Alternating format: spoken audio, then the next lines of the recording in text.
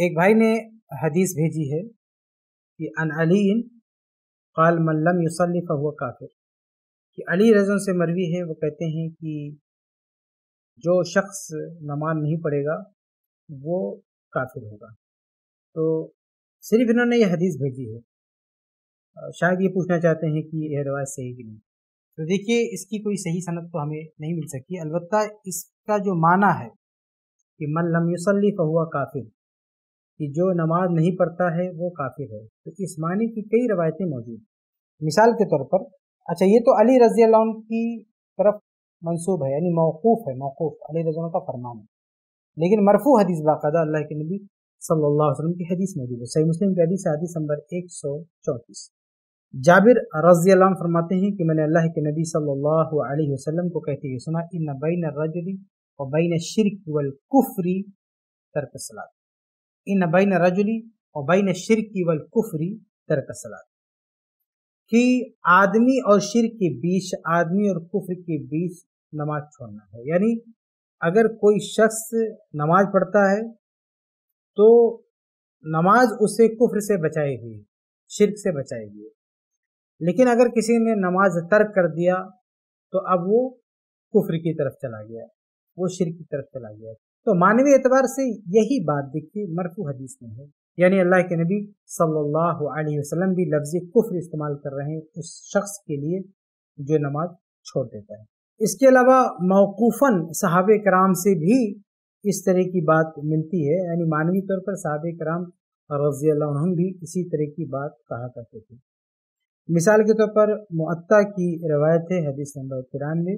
इसमें है कि मिसवर बिन मखरमा कहते हैं कि, दखला अला उमर बिन खत्ताब मिन लती तो इन फ़ीहा। फ़ई कदा उमर सलात सुबह, फ़काल उमर, नाम, वला हज़ फिल इस्लाम परकसला फसल्ला उमर। इसमें है कि उमर बिन खत्ताब रज़ी अल्लाह तु की शहादत से पहले जब उन पर खंजर से वार किया गया था तो उनको जगाया गया नमाज़ के लिए तो उमर फारूक ने कहा, जी हाँ अगर कोई नमाज़ नहीं पढ़ता है तो इस्लाम में उसका कोई हिस्सा नहीं है। ला फिल इस्लाम सला। जिसने नमाज़ छोड़ दिया, इस्लाम में उसका कोई हिस्सा नहीं। तो मानवीय तौर पर वही बात तो उमर फारूक रज़ी भी फरमा रहे हैं, जो अली रजन की तरफ़ मंसूब है। तो उसकी कोई सही सनत तो मैं तलाश नहीं कर सका, लेकिन यह है कि उस माने की बात अल्लाह के नबी सल्लल्लाहु अलैहि वसल्लम से भी साबित है।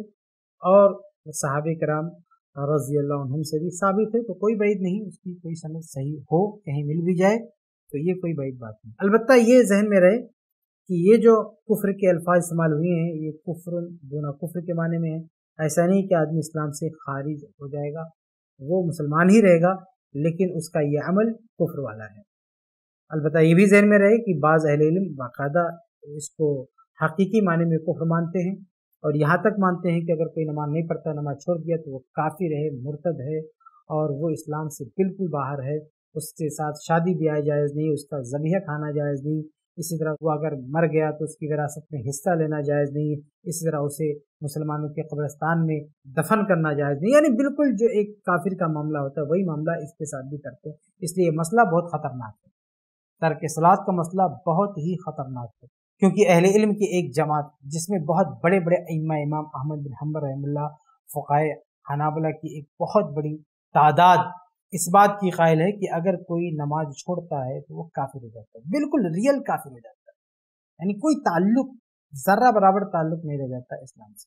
अलबत् दूसरी तरफ़ कुछ उलमा शेख अलबानी रहमुल्ला भी उन्हीं में से, जो कहते हैं नहीं, वो इस्लाम से खारिज नहीं होगा, लेकिन बहुत बड़ा गुनहगार है, उसका अमल ये कुफिया है। शेख अलबानी रहमुल्ला और उनके मुआफ़िन की बात ही हमारी नज़र में राज मालूम होती है, लेकिन जब उलमा ने इख्तलाफ किया है तो उसको सीरियस लेना चाहिए, इसमें सुस्ती नहीं करना चाहिए।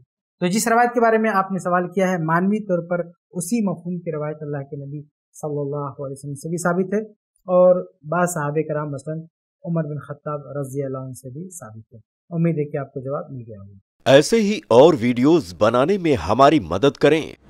आई प्लस टीवी को ज़रूर डोनेट करें।